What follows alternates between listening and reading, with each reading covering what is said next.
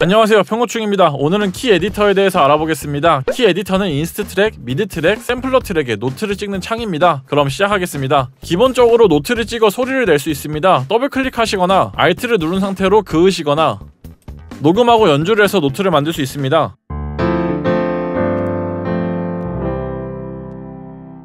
소리를 들어볼 땐 스페이스바를 눌러 재생하시거나 왼쪽 상단의 피드백 버튼을 누르고 노트를 클릭해보면 해당 노트의 소리가 납니다. 피아노 EP 등 키보드류의 작업을 할 때는 velocity 컨트롤 할 일이 많습니다. velocity는 보통 소리의 세기를 결정해주지만 가상악기에 따라 다른 방식으로 작동되기도 합니다. 조정하실 땐 아래 CC 부분을 velocity로 해놓고 조정하셔도 되지만 저는 주로 조정하길 원하는 노트를 선택하고 Control Shift를 누른 상태에서 노트를 선택해 위아래로 움직여 velocity를 컨트롤해줍니다. 그리고 피아노의 sustain도 CC를 통해 조절할 수 있습니다. 아래에 플러스 버튼을 눌러 sustain을 추가해주겠습니다. 위에 있는 포인트는 페달을 밟는 것, 아래는 떼는 것입니다. 그래서 이런 식으로 연주를 실수했을 때도 이런 식으로 페달을 직접 그려 넣어줄 수가 있습니다.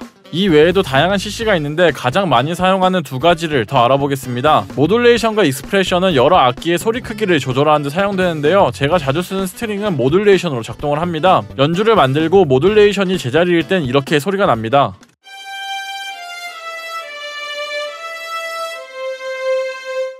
그리고 이렇게 modulation을 그려주고 재생을 하면은 modulation 모양대로 볼륨이 변합니다.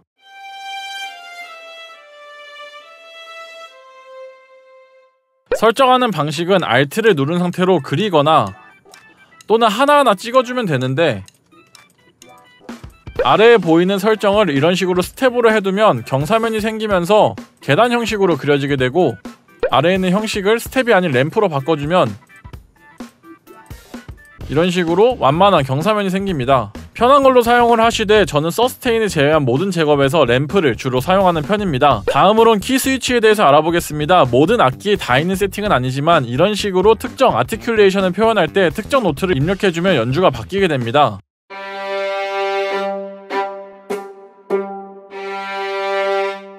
이 세팅을 편하게 하기 위해 expression map이라는 걸 설정할 수가 있는데요. 먼저 왼쪽에 있는 expression map, expression map setup을 선택을 하시고 expression map에 플러스를 눌러서 추가를 해줍니다. 그 다음에 내가 쓸 sound slot을 추가를 해주면 되는데요. 저는 총 4개니 4개를 만들어 주겠습니다. 그리고 각 slot별로 키 스위치가 작동하는 C-1부터 D-1을 output mapping에 넣어주겠습니다.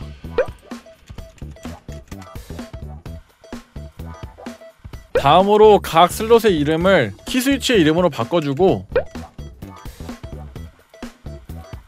articulation에서 add custom을 해준 뒤 이름을 텍스트에 복사해 주시고 타입을 direction으로 바꿔주시면 설정이 끝나게 되는 겁니다. 나머지 것들도 모두 같게 해주시면 됩니다. remote는 각 키 스위치 노트에 맞게끔 이름을 설정해 주시면 됩니다.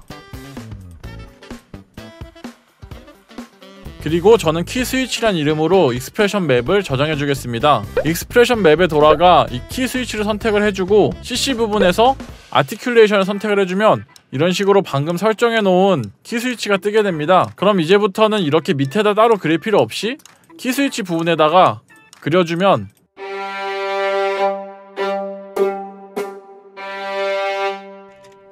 마지막으로 알아볼 것은 피치밴드입니다. 피치밴드는 우선 노트가 연주되는 동안 음이 위아래로 움직이게 할 수 있는 기능입니다.